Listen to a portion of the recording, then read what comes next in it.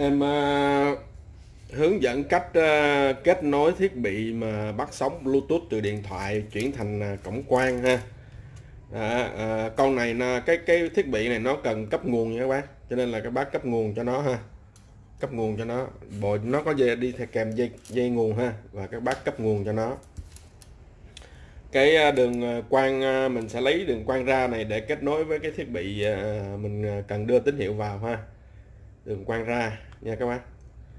Đường ao ha rồi. Ở phía bên này ở phía bên bên bên hông nó thì các bác bật nó chế độ receiver ha tức là chế độ nhận tín hiệu ha. Đây là chế độ bật gạt qua chế độ RX này.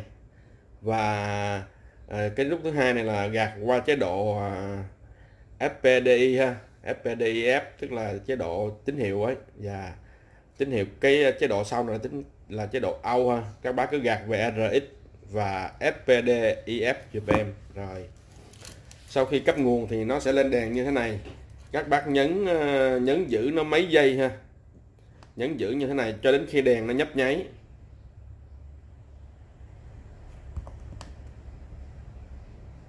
Đó, đèn nó nhấp nháy thế này là nó đang dò tìm tín hiệu Bluetooth. Thì các bác sẽ bật Bluetooth trên điện thoại của mình để dò. Sau khi ờ, dò thấy thì các bác ờ, nhấn kết nối thì nó sẽ kết nối ha. Cái thiết bị này nó có tên là BTI 029 ha.